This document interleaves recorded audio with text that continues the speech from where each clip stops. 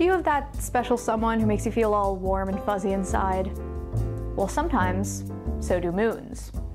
I'm Anna Barth, and this is the story of Io, tidal heating, and how celestial bodies keep each other warm. Io, one of Jupiter's moons, is the most volcanically active body in our solar system. With over 400 active volcanoes covering its surface, Io is just oozing with heat. But in the seemingly endless, cold loneliness of space, where is all that warmth coming from?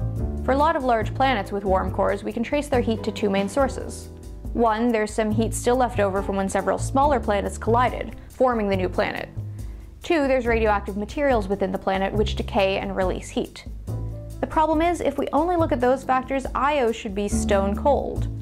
It's only the size of our moon, not big enough to retain heat from when it originally formed, and there's no way it has enough radioactivity to fuel the kind of incredible volcanism we see there.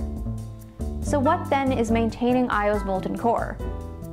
To answer that question, we need to take a closer look at gravity.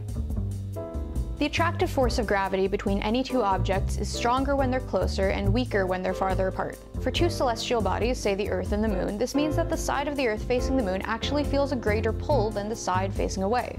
The result is a stretching effect we call tidal force. If the Moon had its way, the Earth would be slightly oblong, like a football, and vice versa. The Earth wants the Moon to be football shaped too. Here on Earth, the stretching on land is pretty minimal, although the water on Earth does get stretched, giving us the tides. Now let's look at Io again.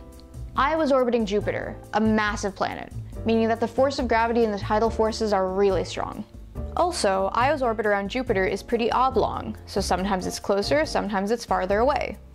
When it's closer, gravity is stronger, meaning the tidal forces make Io more football-shaped. As Io approaches the point on its orbit where it's closest to Jupiter, the tidal forces increase and its surface swells as much as 330 feet. Then it recedes again as it goes back around the other side.